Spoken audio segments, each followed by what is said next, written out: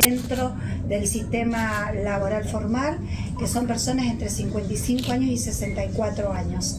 Este programa tiene como objetivo la reinserción de todas las personas, hombres y mujeres, al sistema laboral y que esto contribuya a la economía de su familia, ¿no? Teniendo en cuenta que para eh, los sistemas previsionales son personas jóvenes. Es un programa federal, o sea que está en toda la provincia. En su primera etapa se entregaron 40 proyectos de distintos oficios. Hoy también se ha implementado una serie de oficios que tienen que ver con lo mismo que propone cada emprendedor y se evalúa con un equipo técnico.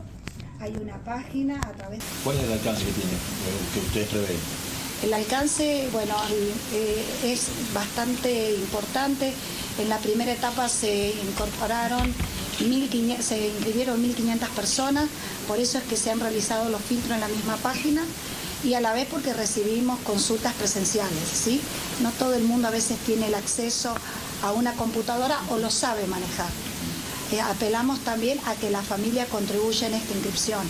Si no, en Salta 370 Sur estamos para, para poderlos asesorar y el alcance eh, está previsto alrededor de 200 proyectos que podamos nosotros contribuir con herramientas. ¿Plazo máximo para inscribirse? El 22 del mes de agosto.